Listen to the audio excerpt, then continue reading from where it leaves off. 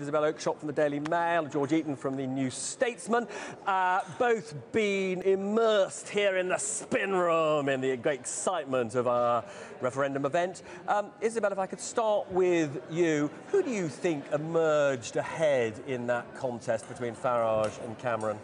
Well, I think it was quite a well balanced contest, actually, and I think that both the key participants will be fairly satisfied with their performance.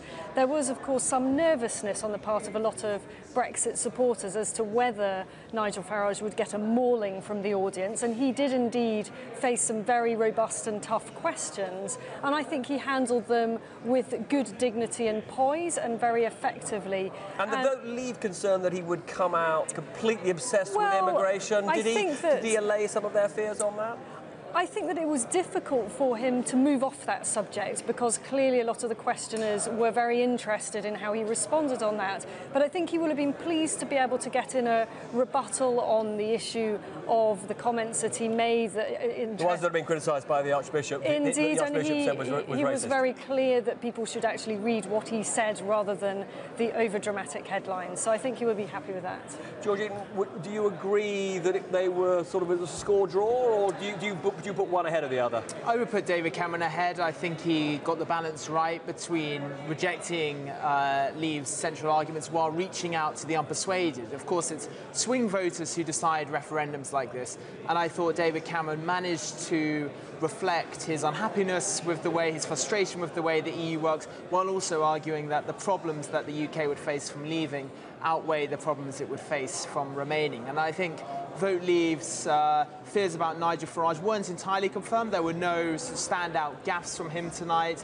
nothing completely outrageous. But I think he showed why he's a 15% politician, not a 50% one. He's one who appeals to the base, uh, on immigration, I don't think he offered sceptical swing voters enough reassurance on the economy for, for Leave to significantly improve its performance based on tonight. Um, Isabel Oakeshott, if you look at the opinion polls and the bookies' odds, momentum in the last few days has been more with the Leave side. Mm -hmm. Do you think this contest tonight will change that?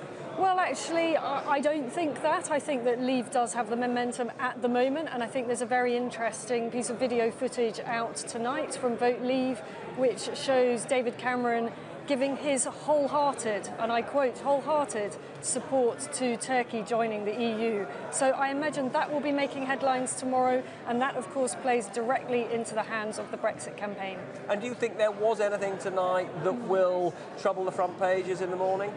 I think David Cameron saying reform doesn't end on, on the day of the referendum is quite significant. I mean, that inevitably invites the question, what kind of reform? What, what more does he think he can achieve? Um, if that's not clear, that's something that, that Leave will challenge him on. And I also think Nigel Farage doubling down on his warning of, of sex attacks from migrants, responding, rebutting the Archbishop of Canterbury, that interesting clash, I think, uh, will probably get the most attention. George Eaton, Isabel Oakeshott, thank you so much. And back to you. Robert, thank you uh, very much. Now, tonight's referendum programme was just the first of two this week. The ITV